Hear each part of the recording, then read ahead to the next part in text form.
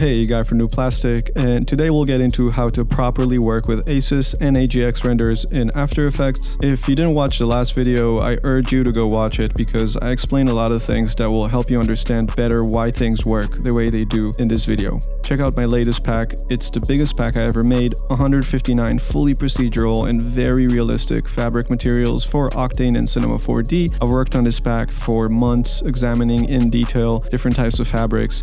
I'm super proud of it and excited about it. So if you want an infinite resolution, endlessly tileable and customizable fabric pack, go check it out on my Gumroad. It's also broken down into more specific smaller packs like apparel, satin, velvet, fuzzy, sheer, leather, and others that are cheaper if you don't need literally every single one of the materials. So hopefully everyone can enjoy it. Link in the description. Also, I got these sick enamel pins on the other Gumroad store. If you like them, you can go get them. Again, link in the description. If you want to support further, check out the Patreon or membership where you'll find cool perks like these project files and free products, but mainly help me make more and better content for y'all. Follow me on Instagram at Ojeng. And also, I just opened an Instagram for the channel, so go show some love uh, at Brand New Plastic. It's pretty lonely there right now. I'll slowly upload content there that fits the Instagram reel more than these YouTube video format. Uh, it's been a long time coming, so yeah, at Brand New Plastic on Instagram. Subscribe, share, comment, bell, eat more fermented food. Let's go. Okay, so I have the scene here with lots of foliage and wet surfaces and raindrops with a sunlight and an HDRI. You can see how it looks like in a live viewer. And right now we're viewing with the AGX look. This is how it looks like in ACES. We discussed the differences in one of the last tutorials, so check it out if you haven't. So this time we want to keep all the HDR information in the scene and render within the ACES space. So in the Octane render settings, we're going to keep buffer type at HDR 32-bit and change the color space to ACES CG. I added all these AOVs, so we got the denoised pass, refraction, transmission, uh, the noise, but it won't render out, shadow, reflection, direct, reflection, indirect, both denoised, ambient pass, so only the HDRI, sunlight pass, uh, cryptomattes, shaded normals, and the Z depth pass.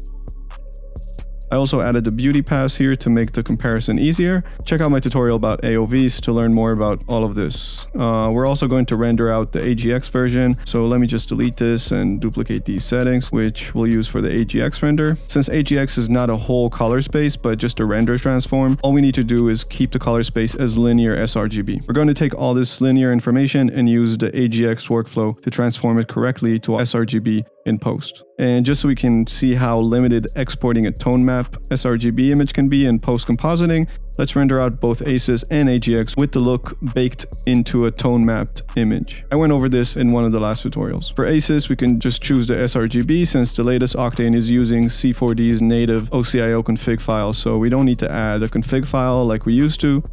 One last thing here, the render originally has this beautiful shallow depth of field that produces this nice bokeh and everything, but I'll render the image without it and add the blur in post. That's why I rendered the Z depth. And like I mentioned in the Z depth tutorial, we need to make sure that in the render settings, in the parameter section, we set info sampling mode to non-distributed without pixel filtering. All right, let's render all four images out and go to After Effects. And here we are after importing the four EXRs. Now, before anything, we'll click down here and make sure our project is set to 32-bit depth so we can utilize all the information in the files we exported. The working space is set to sRGB because that's going to be the color space we're going to end up exporting since most screens are displaying in sRGB and that linearized working space is checked. Another thing you want to do is click on your composition and in the view menu, make sure use display color management is checked. That will make sure you can see how After Effects is managing your color that is being displayed. There are other workflows that require this option to be turned off, but for this workflow, make sure this is turned on. Let's make a new composition with the ACES CG EXR, add the extractor plugin and select the beauty pass.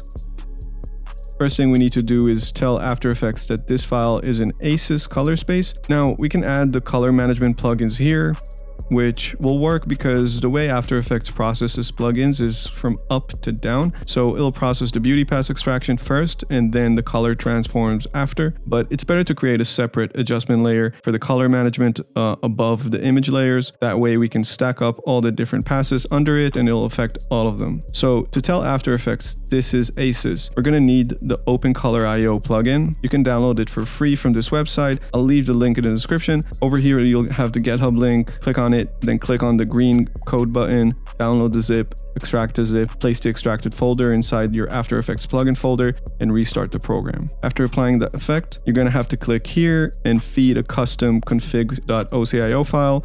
In Cinema 4D 2023 and Octane 2022, there's a built-in config file located in Program Files or your Applications folder C4D resources, modules, C4D plugin, and OCIO folder. I made a copy of it and put it in my OCIO folder for better access. I think this is using ACES 1.2. Select it, then in the input space, go to ACES, then ACES CG, and in the output space, go to ACES, then invert ACES 1.0 SDR. Now, if you use an older ACES config file, in the input space, select ACES, then ACES CG, and in the output space, select output, and sRGB. You're gonna get the same results. It's just named differently.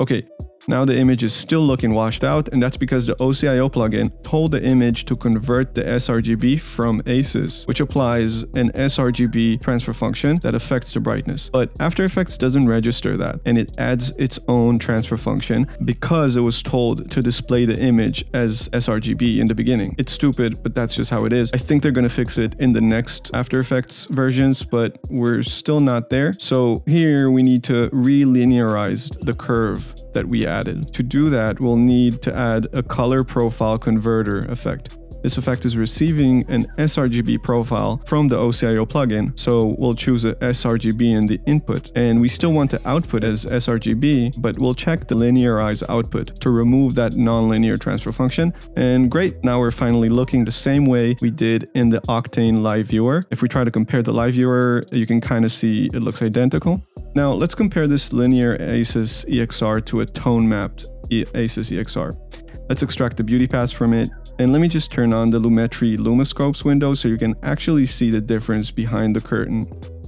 The scope is set to HDR so we can see all the non-divisible data and you can see that the tone mapped data is clamped at 1. That's the brightest point in this image, full white. However, in the linear EXR, our brightest points end up almost at 100. There's just so much more information here, which can help us in many ways and holds the potential for this image to be played not just on your average screen, but on HDR TVs and cinema projectors, for example. If I open the info tab, look at the numbers here while I hover on these bright points.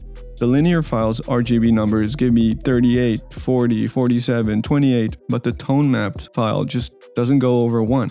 And by the way, just so we can quickly see how a PNG works, here's a PNG I rendered. I set it at 16-bit, linear, it doesn't matter. The PNG, as you can see, just can't hold all that information.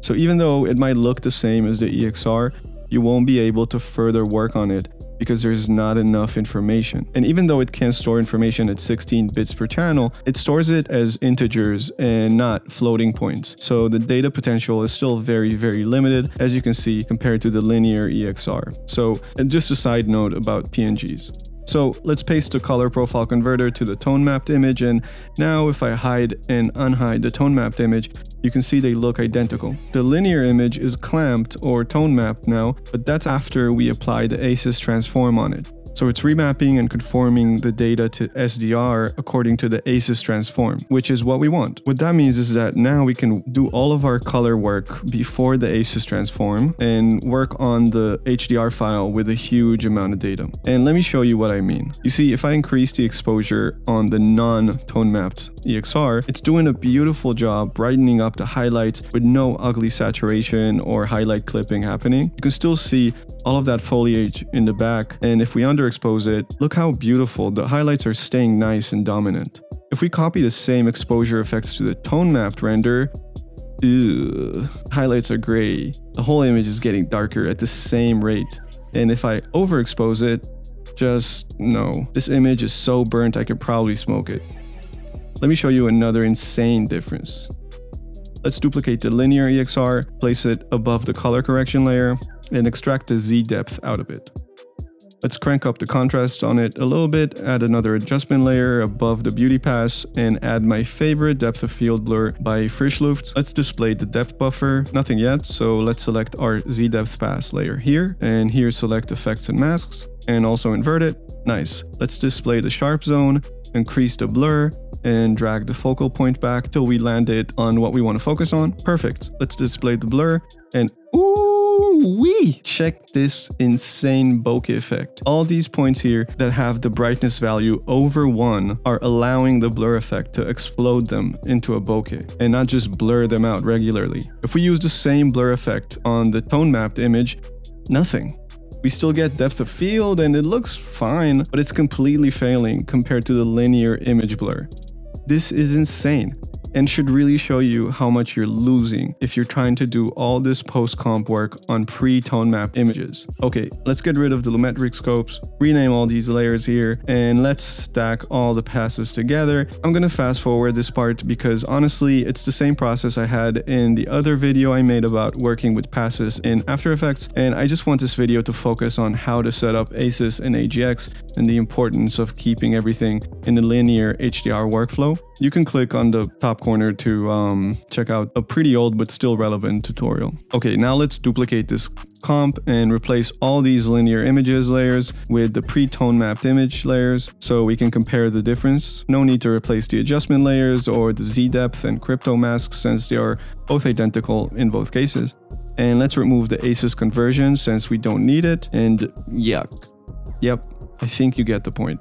All these changes require the invisible information to exist, and since we don't have that in the tone mapped version, we just get nasty highlights and chromatic clipping. Now, let me show you how you would do this for AGX. The pass blending process is the same, so we can just duplicate the main comp, select all the image layers except the crypto, z-depth, and normal since they're identical in AGX, and replace them with the linear AGX files and bam. This looks cute, but it's inaccurate because our color management is treating these as ACES files. All we need to do is go to the Open Color IO plugin and replace the ACES config file with the AGX config file we dealt with in the AGX tutorial. Now in the input space, we'll select color spaces, linear BT709, which is the same as linear Rec 709, which as I mentioned in the color management tutorial, Rec 709 and sRGB share the same color gamut and pretty much the same white point point, so linear BT709 is using a linear transfer function practically identical to a linear sRGB, which is the color space we render this image in. In the output space, we'll select appearance punchy sRGB, and bam, now let's isolate the beauty and the color management layers only. And this is the exact image we saw on the Octane's live viewer with the AGX look. And again, if we replace all of these image files with the tone mapped AGX files, isolate the beauty and color management and remove the AGX transform since we don't need it for these, you can see they look identical. However, if we look at the Lumetri scopes, the linear AGX files have much, much more data in them which will allow us to have the same level of compositing as we just saw in ACES. And as you can see, after grading, the linear looks great. The tone map makes me want to throw my computer out of my balcony. And if we compare the ACES and AGX looks, ACES obviously has a much higher contrast, which we can just crank up now on the AGX grading layer, maybe desaturate the sculpture a little bit as well. And yeah, we can get them both to look pretty close to each other, but they both have their own subtle differences. It's up to you to choose which one you prefer working with. And again, if I quickly replace all the passes with the PNG renders, as expected, you won't be able to blend everything to this extent without breaking the image.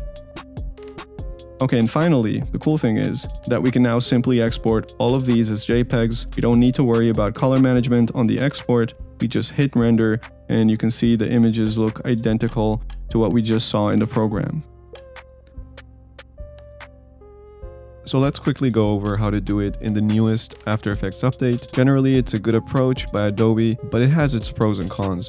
So after importing the renders, I'll click down here again, But this time you see we have this added color management section. You can leave everything here like this if you still want to use the process I just showed you. But in this update, you can change the color engine to OCIO color managed. Hit OK and now you actually have these built-in ACES configs. They actually have ACES 1.3 which is great but since our renders are in 1.2 we'll select that. I tried to install 1.3 on Octane but honestly it was not as straightforward as the previous version so I'll need to figure out how to do it and I'll share it with you in a future quick tip. So once we chose 1.2, the working space automatically changes to ACES CG and the display space to ACES sRGB, which is great. We don't need to do anything. It's like that OCIO plugin we used earlier is just built in and automated inside the color settings of After Effects now. And straight out the box, we're looking identical to our live preview in Octane without the OCIO or the profile converter effects needed. If we try to add the depth of field blur, we're still getting this beautiful bokeh, which means After Effects knows to edit the file within the ACES space, but display it within the sRGB space. Okay, here's the AGX render, and the colors are not really right because After Effects is treating this like ACES. So let's click on the project color settings down here again. And this time in the OCIO config, we'll select custom and just choose the AGX config file from our computer. As you can see, the working space automatically changes to linear 709, which is good. But the display space, we need to change to sRGB appearance punchy like we had in Octane. And now we're looking pretty identical. There's a very subtle difference, almost like the live viewer has a slight more magenta tint to it. I'm not sure where it's coming from. Maybe I'm tripping. The funny thing is that now that the color space conversion is happening globally, you can't switch between different comps with different spaces. The ACES comp looks wrong because we switched After Effects to use AGX. Uh, it's not a huge deal because you're more likely to have all your renders in a project set to either AGX or ACES and not both. Anyway, cool, now I can just stack up the passes and do the coloring work I want, same as we did before. And now here's something a little bit annoying. When you're done and want to export a JPEG, the output color space is for some reason set to be the input space of your original render, which is not meant for viewing, only for editing. So we're going to have to manually select the sRGB punchy appearance in the output space. And as you can see, they look the same. And if we change the space back to ACES and just quickly layer all the passes and do the same grading, if you want to export that as a JPEG, you're going to have to manually select the output sRGB which will look correct. The reason it's annoying is that you now have to do this every time you export. So to get around it, just make a template. In your render queue, click on this arrow in the output models and click make template. Give it a name, make sure it's set to JPEG, then click on the edit button. Mm, okay, make sure it's JPEG. And in the color tab, change to the correct output space, which in this ACES case, it's output sRGB. Hit OK, OK, and that's it, you're good. Now, in one click, you can save your JPEG in the correct way, and we'll make one for AGX as well. Name it, edit, make sure it's JPEG, and in the color tab, output space to sRGB punchy appearance. And that's it. Hopefully you learned something that can help your workflow. Uh, I know this can seem overwhelming, but it's really going to push your work to the next level if you're determined to get this right. Check out the procedural fabrics pack on my Gumroad. Check out the enamel pins uh, link in the description.